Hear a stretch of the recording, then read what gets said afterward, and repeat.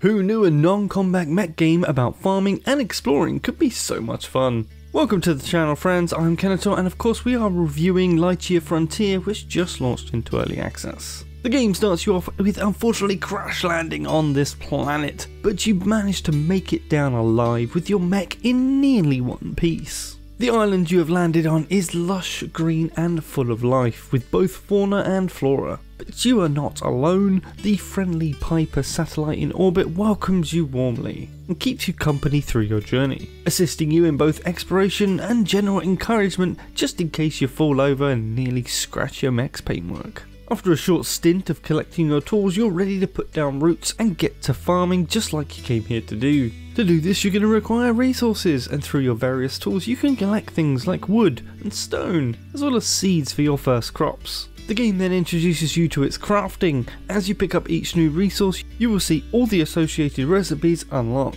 And I really love the building in this game thanks to three main features. First is the ability to lay out the different parts of your farmstead without using any materials at all, since it places down these holograms. Second is the fact that recycling is free and returns all resources, so you can rearrange all of your stuff as you see fit. And thirdly, I never ran into an upper limit on inventory capacity, which enables picking up of literally everything you own for relocation if you wish to do so. On that last point however, there is a penalty for exceeding a certain mass limit, your run and jumping abilities will get disabled.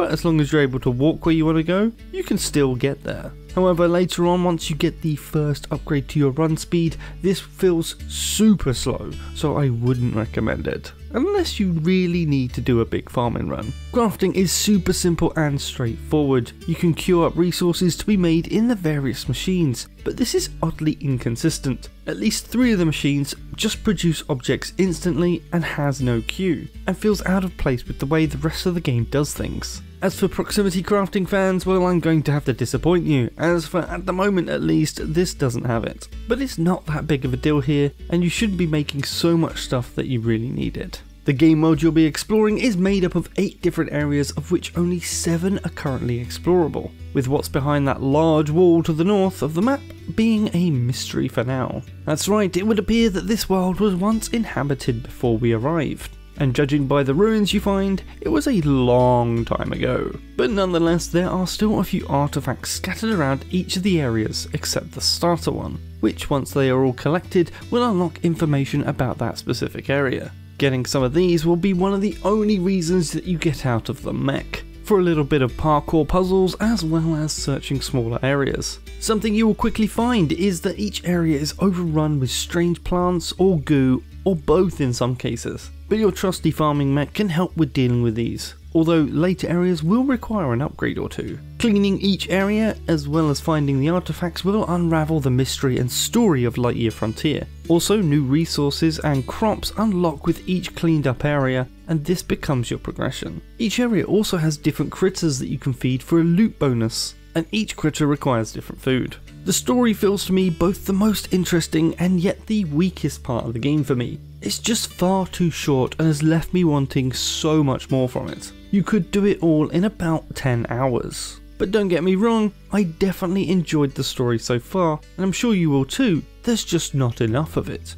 It's also worth pointing out that finishing the current story doesn't mean the end of exploration, and you will find out why when you get there yourself. That's all I'm going to say on that one. It is also again an early access title, which means that there will be more coming over time in terms of story content, quality of life, mech and building parts. And I also have good reason to believe that the map will most likely expand as I spotted a volcano which definitely looks like a playable area, but it was off the current map.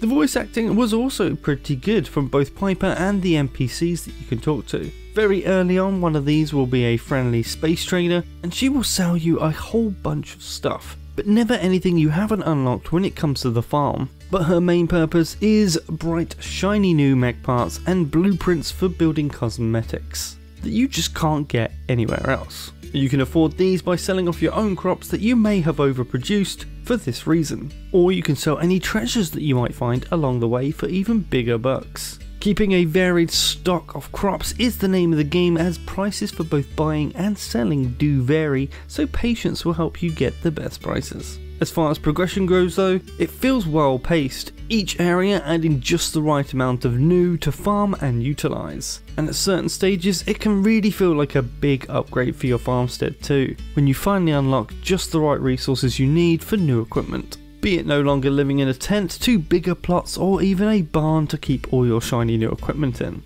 This goes hand in hand with the strongest area of the game, the customization. You can paint near enough everything, mech included, and I've found about 15 different versions of the mech, and all these parts can be mixed and matched and painted whichever colour you want. As for the farm itself, you can make this as huge or as small as you like. And there are so many decoration options, I couldn't unlock them all before needing to stop to write this review. The soundtrack is super relaxing with its Wild West frontier vibes played out on acoustic guitar similar to what you find in both Hardspace Shipbreaker and a little bit of the Outer Wild soundtracks. And this fits with the game as there are no enemies to face, no time limits to compete with, just you, the planet, and honest farm work. The only threats that you face are from the environment with the occasional event taking place upon waking up. It's either corrupted seeds falling from the sky or ooze bubbles rising up from the ground over your crops. Either way, leaving them both would be a bad time for your harvest, and they are not too hard to deal with, and they also net you a key resource, so are definitely worth dealing with. Now I can't really comment too much on the multiplayer side of things since this was a pre-release version I was playing and had no one to play with. But given how short the game was to just me, with 4 people farming, getting resources, building and cleaning areas, you might just be able to get everything done in a single long sitting. Or if it's really your jam, you could spend ages turning the whole island into an industrial sized farm. But the choice for that, my friend, is yours. Performance wise, I had no crashes with my time in the game and only a few minor bugs, which will most likely be sorted with a day one patch, or not even noticed by most people, so it's definitely all good on this front. Which leads me to happily recommend this game. It's excellent for those who are short on time and enjoy shorter gaming sessions as you can just hop in for a day or two in game, do your farming and then come back another time. But given its low amount of content I would have to say it's not currently worth more than a $20 price point. Especially when you have games like Pacific Drive or Enshrouded that have come out recently, which are packed with so much more at the $25 mark providing more value in both content and replayability, but that's just my opinion. Either way, it still gets a thumbs up from me, and I look forward to seeing much more from Lightyear Frontier in the future. Also, shout out to the devs at Framebreak for supplying this review copy. Now, if you enjoyed this, please like and sub for more sci fi gaming content, and I will see you guys in the next one. Kenetor, out.